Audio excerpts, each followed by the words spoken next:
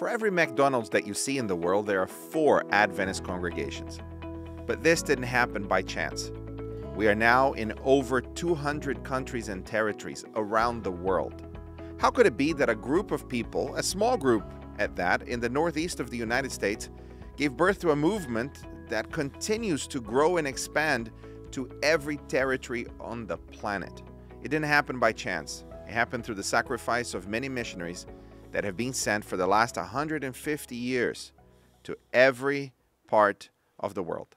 I'm here with David Trim. Dr. David Trim is the head, the director of a very important department here at the General Conference Statistics, Research, Archives, ASTR as we call it. David, welcome to ANN In Depth. Thank you, Sam. It's good to be with you. I assume that people imagine that the archives of the General Conference is in a basement somewhere in the building. Are they right? Yes, they're absolutely right. That's exactly where we are.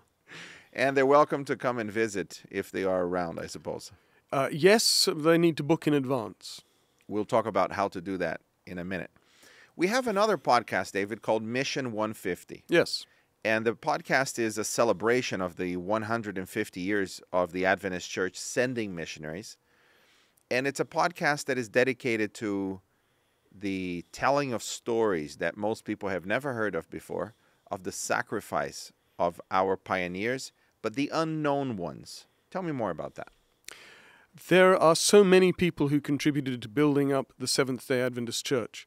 But when we tell the history, we usually only tell the stories of a handful of individuals. And that's partly because we simply don't remember. Uh, we've, our collective memory uh, is very faulty. And we like to think that we value our history, but actually, oftentimes we don't.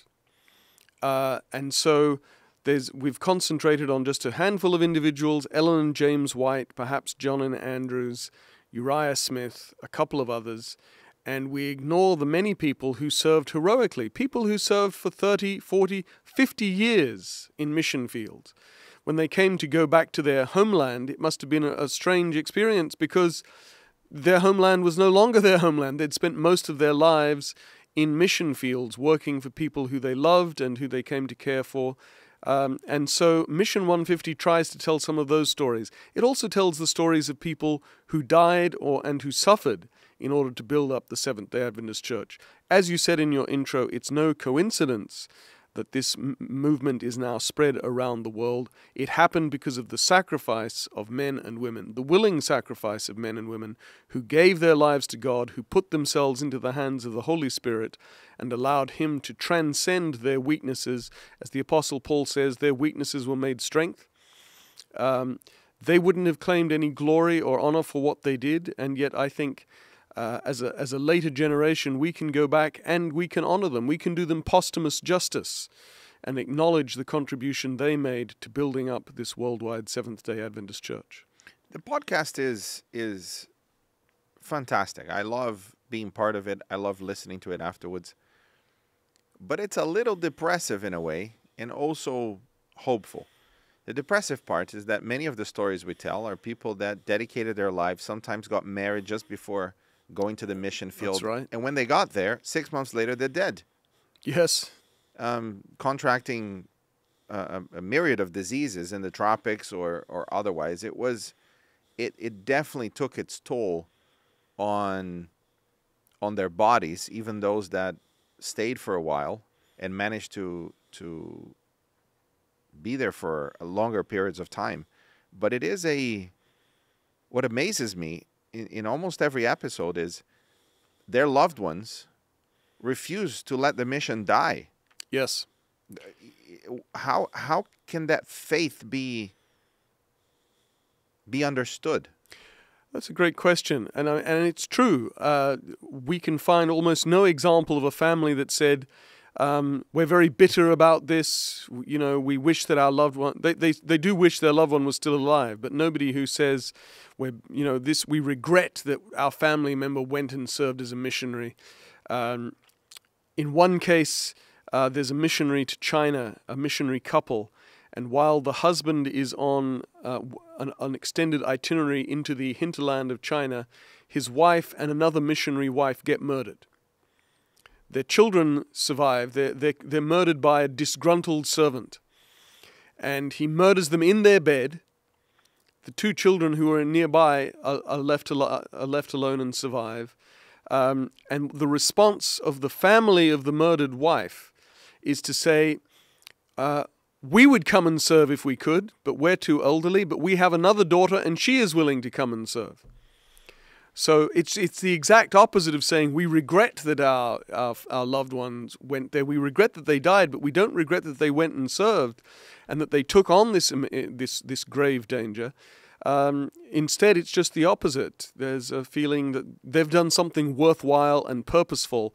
Their concern is always that the work that their loved one has done doesn't go to waste, because perhaps that would make it a true tragedy. I think it's C.S. Lewis who said, uh, "If an event is meaningless, then it's a, by definition it's a tragedy. That if it has meaning, then it's it's it's not tragic." Um, and so, for them, if their loved one was to die without the work continuing, that would be meaningless and it would be tragic. But if somebody else goes out and, as they they often use a military analogy, raises the standard that they have fallen, is the kind of language they use. If somebody else goes out and does that, then the death will have had been constructive. It will have been to some purpose. And so their faith, their faith, Sam, in the mission of the Seventh day Adventist Church is so profound that they are willing to endure the loss of loved ones, even though it's, it's deeply distressing to them. And you can see that from the accounts that they write. But ultimately, what comes first is the mission God has entrusted to the Seventh day Adventist Church there are people listening to the to, to this podcast and have not heard the other one yet. I'm hoping that they would. The, the link will be in the description on YouTube, and you can find it on AdventistReview.tv. But there will be people listening who are not Adventists. Maybe they have a family member who is an Adventist. They're interested in the Adventist church, and they're interested, obviously, in the history of how this mm. movement got here. What would you say to them about the heritage of sacrifice that they would inherit if they joined the Adventist church? Because it will be easier to just offer them, you know, tremendous privileges and your life will be better and all will go well with you. But they need to know in full transparency the truth that becoming a Seventh day Adventist is to put the mission as a priority in your life. Those two things should be synonymous. They're not always, but they should be. They should be. How would you encourage them with the fact that they may have a whole lot of sacrifice to look forward to? Well, first, if you become a Seventh day Adventist, we do believe it makes a, a, positive difference in your life, both through the relationship with Jesus that you enjoy and through the more healthful living that Adventists uh, teach and, uh, and, and desire that, it, that their members shall, shall emulate. Uh, but you're right. Uh, it, to be a Seventh day Adventist should mean putting the mission first. Um, and I think there's a certain there would be a certain mindset that would look at all these sacrifices and say, "How appalling! Where was the duty of care of, of, of the church?" But the people went into it with their eyes open because they themselves will have read obituaries or accounts of missionaries dying in the mission field. And yet there's never a shortage, Sam. There's never a shortage of people willing to go. There's always new volunteers ready to be sent. And that's the extraordinary thing. Even today with Vivid Faith, which is our platform for recruiting for recruiting missionaries volunteers and, and missionaries, and others, yeah, yeah. Um, we're told and I don't have the numbers with me, but Filvia, who is the, the manager of that, she constantly has a problem of having too many people willing to go and not enough places to send them. That's right. That's right. And today, of course, it's not going to be, it's not likely to involve danger to your life, but it will involve sacrifice because even going a far away from your country is a sacrifice. Being far away from your family is a sacrifice. It may mean that your grandparents don't see grandchildren growing up and only see them once a year. Um, so there is a sacrifice to be made, but also even uh, for those who are not called to be missionaries, which is the great overwhelming majority of Adventists, even in the past. Um, the great majority of Adventists never served as missionaries, but there was a sacrifice that they were called to, which was to support the mission through their offerings. And they did that. They did that to an extraordinary degree, which we've lost today, Sam. If you look at uh, at mission offerings today, they have effectively plateaued since the early 1980s. But we know that a dollar today doesn't buy what it bought in the early 1980s. So, so, they plateaued in terms of value, but if you account for inflation, it's actually dropped. Is that what you mean? Yes, in real terms, there's been a sizable mm. drop. And if you were to look at the percentage of tithe, which of course is a, t- a tenth of the income, it's, it's difficult to account for inflation and also exchange rates. But if you look at the value of the mission offering in terms as a percentage of tithe, it's greatly dropped since it started in the 1920s. Um, we also used to have all kinds of offerings in addition to the 13th Sabbath mission offering, which Adventists always give on the 13th Sabbath of each quarter. Um, and some of those continue, but others of them have fallen by the wayside. So there's also a call to sacrifice. Uh, to sacrifice, if you can't go, you can pray. And pray, we believe that the, the prayers of a righteous man and woman availeth much, as the Bible says. And we've seen plenty of evidence for that indeed. Yes, but also there's a call to sacrifice your your your your funds to to support the mission and also it may be that you yourself will sacrifice in a sense a family member because you may not go but they may go and we we want people to encourage family members to consider going for example, as a student missionary or going as a, as a missionary or in being involved in service. Um, and even for those who remain in their homelands, there is a call to to sacrifice time and energy to be involved in the mission of your church in the local area. What we as Adventists used to call 100 and 120 years ago home missionaries. But every ch- local church has its own mission to its community, and that can only really be pushed forward if church members are willing to sacrifice time and energy to contribute to it. So you're right, to be an Adventist means putting the mission first, and it also means you are being called to a life of sacrifice. Some, for some, the sacrifice will be much greater than others, and it's still the case that missionaries occasionally die even today when they can be medevaced, you know, evacuated by plane and, and receive very good medical care very swiftly. Um, but the sacrifices will be greater for some than for others, but for all Seventh day Adventists, we are called to make some kind of sacrifice. There is a, a deeply ingrained urgency in the mission of the Adventist Church that we need to proclaim what we call the three angels' messages. It's found in the book of Revelation, chapter 14. These are like the, the last messages God has to deliver to people before the second coming, before He comes to renew all things. So, this sense of urgency is very present still in many parts of the world, but other parts of the world seem to have lost some of that urgency.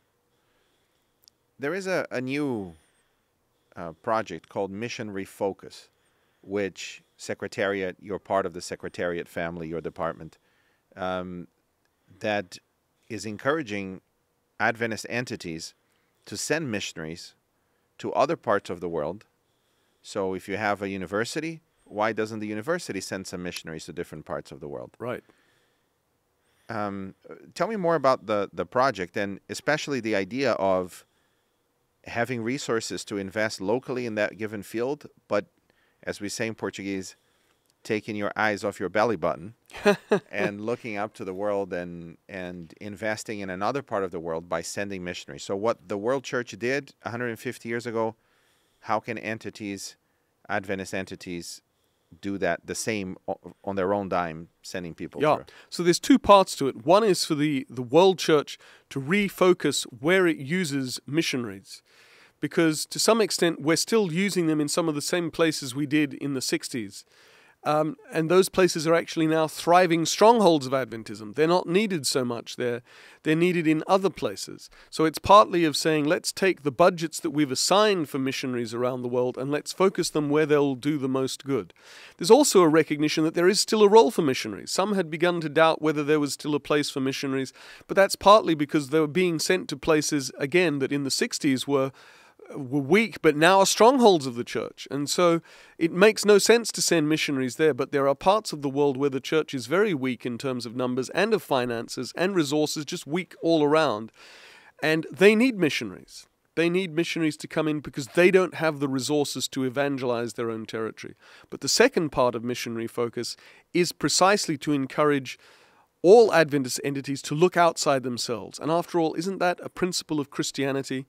I like your Portuguese uh, metaphor, proverb. Um, but really, Christ calls us to look beyond ourselves. If we're only looking at ourselves, we are doing something profoundly unchristian. Hmm. And so, for those who say, I'm not going to care about the rest of the world. I only want to focus on the mission here. Well, in a sense, that's laudable because we do, wherever here may be, we do need to focus on mission there. But there is a calling for us all to look beyond ourselves. And so the idea is that even those areas that, um, that receive missionaries themselves will send missionaries other places because it focuses them outwards, it focuses them even more on the mission, and those people will go and will be enthusiastic and will come back and tell stories and inspire the people around them. So that's mission refocus to try and have every Adventist entity sending missionaries, not just the ones the General Conference says that are sent through a somewhat bureaucratic and slow process, but local unions and conferences can send their own missionaries um, which will, again, inspire the people, but also do a power of good. And above all, we will be focusing outwards as Jesus wanted us to do. David, thank you very much for talking to us about mission and these stories. My pleasure. If you've been listening to this and you want to hear those stories, then go to AdventistReview.tv and look for Mission 150. If you want to become a missionary, even short term, even closer to your home, just go to vividfaith.com. Now, there are many things more that we can talk about mission, and in the next episode, David will come back and we will discuss the other elements of mission, even statistics and research. We'll see you in the next episode.